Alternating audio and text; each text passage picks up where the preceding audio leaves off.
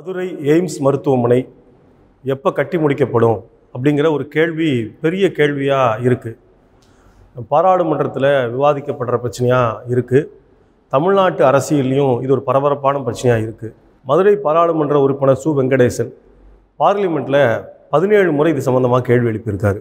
தமிழகத்தினுடைய இப்போ அமைச்சராக ஆகியிருக்கிற உதயநிதி ஸ்டாலின் தமிழ்நாடு சட்டமன்ற தேர்தல் பிரச்சாரத்திற்கு எங்கள் எய்ம்ஸ் எங்கே? அப்படின்னு ஒரு செங்கலோட போனார். சு வெங்கடேசனோட சேர்ந்து விருதுநகர் நாடாளுமன்ற உறுப்பினர் மாணிக் தாக்கூர். ரெண்டு பேரும் போய் ஹாஸ்பிட்டல் கட்டிட்டதாக சொன்னீங்களே காம்பவுண்ட் வால் கூட காணமே அப்படின்னு அங்கே போய் தேடி இருக்காங்க அந்த ஃபோட்டோ ரொம்ப வைரலாக மாறி இருக்கு இன்றைக்கி வரைக்கும் தமிழ்நாட்டில் இது ரொம்ப மிக முக்கியத்துவம் வாய்ந்த ஒரு பிரச்சனையாக மக்களால் விவாதிக்கப்பட்டு கொண்டிருக்கு. இதுக்கான பின்னணி என்ன?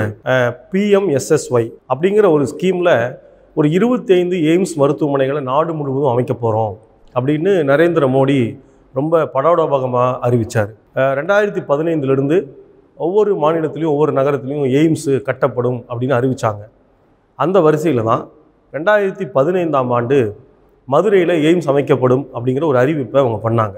ஆனால் அஃபீஷியலாக ரெண்டாயிரத்தி பதினெட்டாம் ஆண்டு தான் அதற்கான அதிகாரப்பூர்வ அறிவிப்பு என்பது வெளியானது. அறிவிக்கப்படுகிற போது மதுரை எய்ம்ஸுக்கு ஒதுக்கின நிதி வந்து ஒரு தௌசண்ட் டூ ஹண்ட்ரட் க்ரோர்ஸ் தான். கிட்டத்தட்ட ஒதுக்கி அந்த ஸ்கீமை அனௌன்ஸ் பண்ணி இவ்வளோ ஆண்டுகளாச்சு. இப்போ அதனுடைய அலோகேஷன் அப்படின்னா ஆயிரத்தி தொள்ளாயிரத்தி எழுபத்தி ஏழு கோடி அப்படின்னு சொல்கிறாங்க அஃபீஷியலாக அனௌன்ஸ் பண்ணி கிட்டத்தட்ட மூன்றரை ஆண்டுகளில் அதுக்கான சுற்றுச்சுவர் கூட கட்டப்படலை அப்படிங்கிற நிலைமை தான் நீடிக்குது. எப்போ கட்டி முடிக்கப்படும்? இதில் எப்போ மாணவர் சேர்க்கை என்பது நடக்கும்? எப்போ அந்த மருத்துவமனையில் வந்து நோயாளிகள் வந்து போய் சிகிச்சை பெற முடியும் அப்படிங்கிற எந்த கேள்விக்கும் ஒன்றிய அரசாங்கத்துக்கிட்ட பதில் இல்லை. ஆண்டு கொண்டிருக்கிற பாஜகவுடைய தேசிய தலைவர் ஜேபி நட்டா. அவர் வந்து தமிழ்நாட்டுக்கு வர்றாரு. மதுரை எய்ம்ஸில் ஒரு பூர்வாங்க பணிகள் கூட நடக்கலை அப்படின்னு அவருக்கு தெரியல.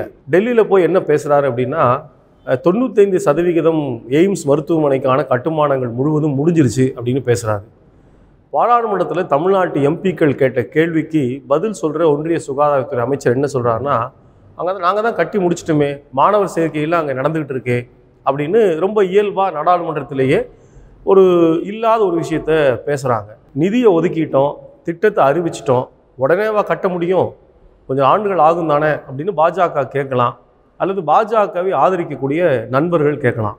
ஆனால் உண்மை என்ன ரெண்டாயிரத்தி பதினெட்டில் மதுரை எய்ம்ஸ் அதிகாரபூர்வமாக அறிவிக்கப்படுகிறது. ஆயிரத்தி இரநூத்தி அறுபத்தெட்டு கோடி ரூபான்னு சொல்கிறாங்க அதே ரெண்டாயிரத்தி பதினெட்டில் அதற்கு பிறகு ரெண்டாயிரத்தி பத்தொம்போதில் அறிவிக்கப்பட்டிருக்கிற எய்ம்ஸ் மருத்துவமனைகளுடைய கட்டுமான பணிகள்லாம் பெருமளவு முடிந்திருக்கிறது. உதாரணமாக ஜம்மு மாநிலத்தில் இரண்டு இடங்களில் எய்ம்ஸ் மருத்துவமனை என்பது அறிவிக்கப்பட்டு நிதி ஒதுக்கீடும் செய்யப்பட்டிருக்கு. கிட்டத்தட்ட அதில் வந்து ஒரு அறுபது எழுபது சதவீத பணிகள் என்பது முடிந்திருக்கிறது. அதே போல் நரேந்திர மோடி முதல்வராக இருந்த குஜராத்தில் ராஜ்கோட்டுங்கிற பகுதியில் எய்ம்ஸ் அறிவிக்கப்பட்டது.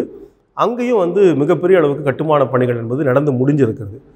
அதே போல் ஜார்க்கண்ட் மாநிலத்தில் அறிவிக்கப்பட்ட ஒரு எய்ம்ஸும் இதெல்லாம் மதுரை அறிவிக்கிற அதே காலத்தில் இன்னும் சொல்ல போனால் அதற்கு பிறகு அறிவிக்கப்பட்ட எய்ம்ஸ் திட்டங்கள் ஜார்க்கண்ட்லேயும் முடிஞ்சிருக்கு. ஆனால் வந்து அரசியல் காரணங்களாக தமிழ்நாட்டில் அறிவித்த அந்த திட்டம் என்பது இன்றைய வரைக்கும் நிறைவேறாமல் இருக்கிறது. தமிழ்நாட்டில் இங்கே வந்து பாஜகவுக்கு எதிர்ப்பு அரசியல் இருக்குது என்கிற காரணத்தினால தமிழ்நாட்டில் திட்டம் கிடப்பில் போடப்பட்டிருக்கு. அதே போல் தெலுங்கானாவில் திட்டம் என்பது கிடப்பில் போடப்பட்டிருக்கு. அதே போல் பார்த்தீங்கன்னு சொன்னால் பாஜகவை எதிர்க்கிற அரசியல் எங்கெல்லாம் இருக்கிறதோ அங்கெல்லாம் இந்த திட்டத்தை கிடப்பில் போடுகிற ஒரு ஏற்பாட்டை வந்து இந்த ஒன்றிய அரசாங்கம் கடைபிடிக்கிறத நம்ம பார்க்க முடியும். இன்னும் கூட என்ன சொல்கிறாங்கன்னா எய்ம்ஸ் எங்களால் தான் வந்தது எங்களால் தான் வந்தது எங்களால் நிறைவேற போகுதுன்னு சொல்கிறாங்க உண்மையிலே ஒன்றிய அரசாங்கம் இதற்கான நிதியை முழுக்க ஒதுக்கீடு பண்ணாங்களா?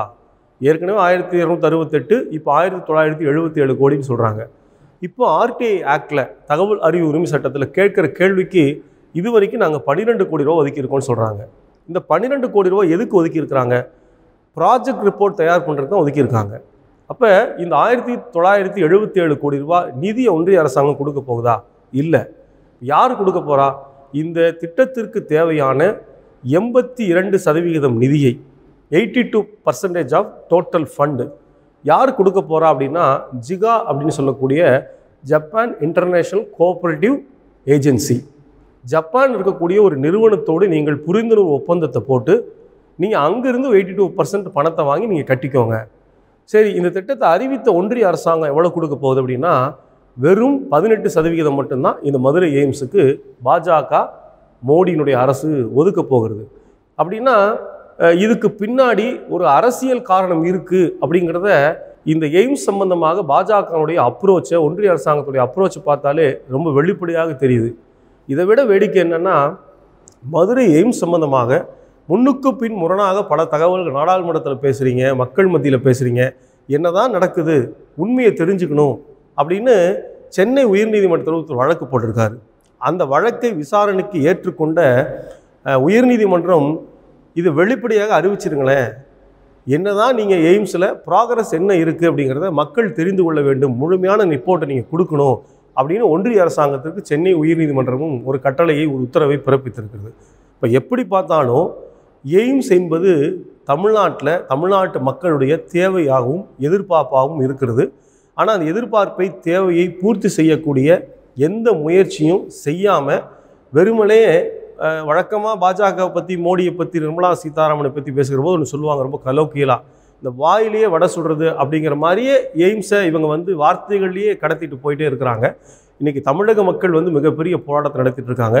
அண்மையில் மார்க்சிஸ்ட் கட்சி ஒரு மிகப்பெரிய போராட்டத்தை மதுரையில் நடத்தி இருக்கிறது. தம் தமிழகத்தினுடைய எம்பிக்கள் பாராளுமன்றத்தில் எங்கள் எய்ம்ஸ் எங்கே என்கிற முழக்கத்தை எழுப்பியிருக்கிறாங்க. தமிழ்நாடு மக்கள் முழுவதும் இந்த அறிவிக்கப்பட்டிருக்கிற எல்லா எய்ம்ஸு ப்ராக்ரஸ் இருக்குது ஆனால் தமிழ்நாட்டில் இருக்கிற மதுரை எய்ம்ஸு ப்ராக்ரஸே இல்லை என்கிற கோரிக்கையை வச்சு எங்களை வந்து நீங்கள் பாரபட்சமாக பார்க்குறீங்க அப்படின்னு ஒரு குற்றச்சாட்டோடு ஒன்றிய அரசாங்கத்தின் மீது குற்றச்சாட்டை வச்சுட்டே இருக்காங்க. கு. வெங்கடேஷ் நாடாளுமன்ற உறுப்பினர் என்ன கேட்குறாரு ஐயா நீங்கள் எப்போ முடிப்பீங்கன்னு நான் கேட்கல எப்போ தொடங்குவீங்கன்னு கேட்குறேன் அதுக்கு பதில் சொல்லுங்கன்னு அவர் கேட்டுக்கிட்டே இருக்காரு. ஆனால் அதுக்கு அவங்க பதில் சொல்லலை. இனிப்பு என்று ஒரு காகிதத்தில் எழுதி எழுதிட்டால் அந்த டேஸ்ட் நமக்கு தெரியாது. அது மாதிரி நீங்கள் அறிவித்திருக்கிற இந்த எய்ம்ஸ் என்பதை தமிழ்நாடு மக்களுக்கு பாரபட்சம் இல்லாமல் குறித்த காலத்திற்குள் நீங்கள் கட்டி முடிக்கணும் மாணவர் சேர்க்கையும் இருக்கணும் மருத்துவமும் இருக்கணும் என்கிற முறையில் இது ஒரு முக்கியமான பிரச்சனையாக ஒன்றிய அரசாங்கம் பார்க்கணும் அப்படிங்கிறதா ஒட்டுமொத்த தமிழ்நாடு மக்களுடைய எதிர்பார்ப்பாக இருக்கிறது